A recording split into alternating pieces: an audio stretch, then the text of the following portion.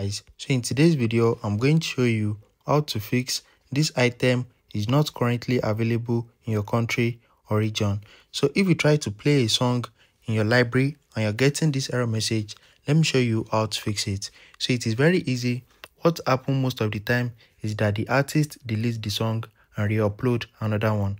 So in order for you to fix this issue just swipe left on it and delete it from your library. So now click on delete song and you need to download it again. So click on search and you need to search for the song. So search for it and you need to download it again.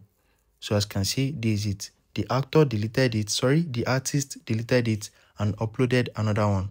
So now I'm going to add it to my library. So it's going to show in my library and I can now play it. So that's what happens most of the time. And sometimes the artist will delete it and not upload another one so you can't do anything if it is that case.